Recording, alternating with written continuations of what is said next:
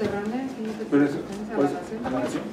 Todo lo que salga. Bueno, sí, sí, pero ¿a la nación completa o al Estado? No, no, a la ¿Dónde nación. se encuentra? A la nación. A la nación. A las naciones federales. Es que ese es el problema de que. Pero pues si está en el estado de Chihuahua, pues tiene que ser usada por los ciudadanos de Chihuahua. No, pero pues ¿no? digo que son los candados que ellos quieren. Pero es de la nación. pues, sí.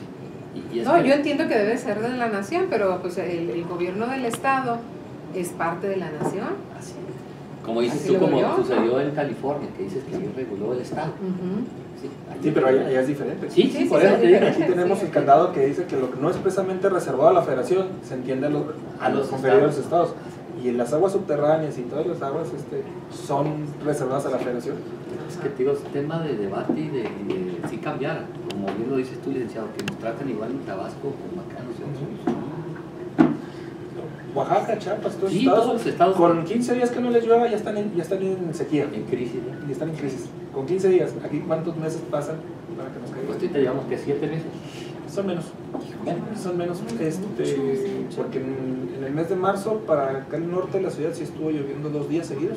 La gente se está poniendo ahí. Es que está muy Y aquí la sectorizada cuestión- ya la lluvia. Oye, Sí, ya.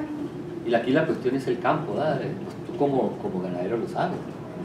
La crisis que hace de aquí en adelante si no llueve. Tú porque estás preparado, yo lo sé, pero la mayor parte en la cuestión de los ganaderos no están preparados para, para afrontar esta sequía.